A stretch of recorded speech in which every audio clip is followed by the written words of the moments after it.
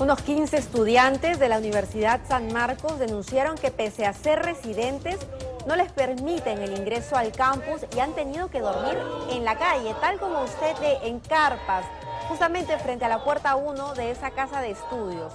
Al inicio del estado de emergencia, los alumnos se encontraban fuera de la universidad porque estaban visitando a sus familias y otros habían salido por motivos de trabajo. Sin embargo, ahora ya no pueden ingresar y claro está, ya muchos no tienen dinero ni para comer. ¿Cuál es la solución que se les va a dar? Si son residentes del campus, no pueden estar en esta situación.